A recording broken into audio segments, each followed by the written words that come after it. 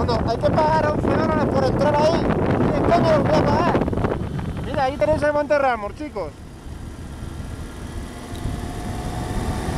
Decepcionante. Es decepcionante.